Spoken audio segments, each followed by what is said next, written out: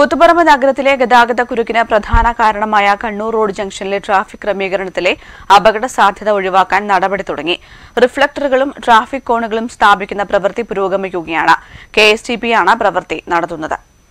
കൂത്തുപറമ്പ് നഗരത്തിലെ ഗതാഗത കുരുക്കിന് പ്രധാന കാരണമായ കണ്ണൂർ റോഡ് ജംഗ്ഷനിലെ ട്രാഫിക് ക്രമീകരണത്തിലെ അപാകതകൾ പരിഹരിക്കാനുള്ള നടപടികൾക്കാണ് ചൊവ്വാഴ്ച തുടക്കമായത്. ട്രാഫിക് ക്രമീകരണത്തിന്റെ ഭാഗമായി ജംഗ്ഷനിൽ ട്രയാങ്കിൾ മാതൃകയിലുള്ള മൂന്ന് പ്ലോട്ടുകളാണ് ഒരുക്കിയിട്ടുള്ളത്. ഇത് വലിയ അപകടങ്ങൾ അപകടങ്ങൾക്കിടയാക്കുമെന്ന വിമർശനം ഉയർന്നിരുന്നു. ഇതേ തുടർന്നാണ് അപകട സാധ്യത ഒഴിവാക്കാനായി റിഫ്ലക്ടറുകളും ട്രാഫിക് കോണുകളും സ്ഥാപിക്കുന്ന ജോലി ദ്രുതഗതിയിൽ പുരോഗമിക്കുന്നത്. കഴിഞ്ഞ ദിവസം നഗരസഭയിൽ ചേർന്ന ഗതാഗത കുരുക്ക് പരിഹരിക്കാനായുള്ള യോഗത്തിലെ തീരുമാനത്തിന്റെ ഭാഗമായാണ് നടപടി. കെ എസ് ടി പി ആണ് പ്രവൃത്തി നടത്തുന്നത്. പ്ലോട്ടുകളിൽ പെയിന്റ് അടിക്കുന്ന ജോലിയാണ് ഇപ്പോൾ നടക്കുന്നത്. ഇതിനുശേഷം റിഫ്ലക്ടറുകൾ സ്ഥാപിക്കും. പലയിടത്തും ട്രാഫിക് കോണുകളും സ്ഥാപിച്ചിട്ടുണ്ട്. നാളെ പ്രവൃത്തി പൂർത്തിയാക്കാനാണ് തീരുമാനം. ജംഗ്ഷനിൽ ഒരുക്കിയ ട്രാഫിക് ക്രമീകരണത്തിനെതിരെ വലിയ വിമർശനങ്ങളാണ് ഉയർന്നിരുന്നത്. ഇപ്പോൾ ഒരുക്കിയ ട്രയാങ്കിൾ മാതൃക മാറ്റി റൗണ്ട് സർക്കിൾ സ്ഥാപിക്കണമെന്ന ആവശ്യവും ഉയർന്നിരുന്നു.